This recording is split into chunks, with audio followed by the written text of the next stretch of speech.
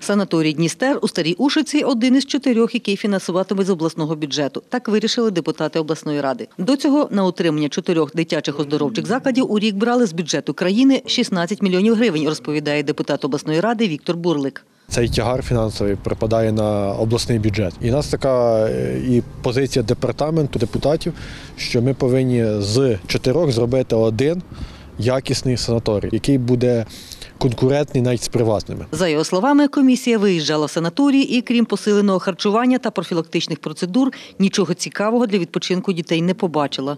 Якщо приватники там якісь вело, маршрути, ще там, ще там, це не зацікавлені взагалі. Тому ми сказали, ні, Таро, так не буде.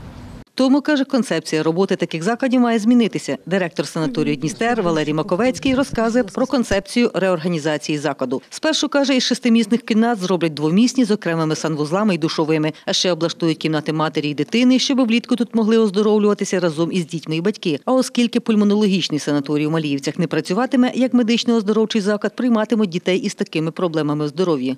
Тут у нас буде сольова кімната. Вже дзвонили з Одеси із е, цієї фірми, що встановлені, вона буде коштувати 250 тисяч.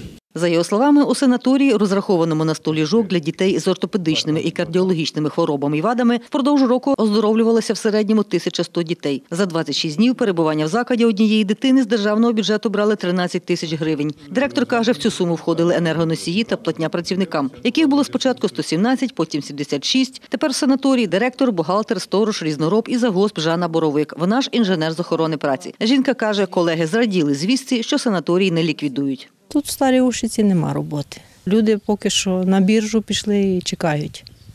З місяця на місяць чекаємо роботи. Валерій Маковецький говорить, уже подали зведений бюджет усіх змін оздоровчого закладу. Він складає 5 мільйонів гривень. Директор санаторію запевняє, діти тут не нудьгували. Вихователі проводили для них ігри, конкурси, влаштовували дискотеки. Все додає він без перевантажень, оскільки перебували тут діти із вадами здоров'я. Возили дітей на Дністер, щоб вони віддихнули. У нас тут Бакота є, екскурсії.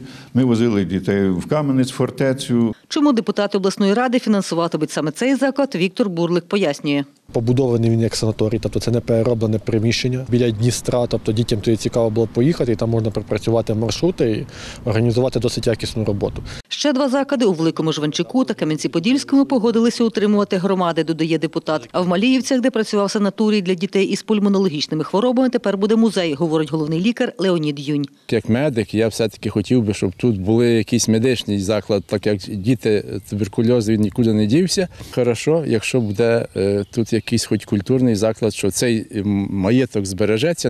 З його слів, на цей маєток графів Орловських 1788 року зазіхали не раз, уперше в 30-х роках минулого століття. Тоді, каже, вже почали розбирати з даху мідну бляху. Палац, говорить, тодішній лікар відстояв. А мати Леоніда Юня, яка перед війною була лікаркою, не дозволила зруйнувати водоспад. Водопад в колгосп був би вже добив. Вона добивалася через природні організації, щоб це заборонили.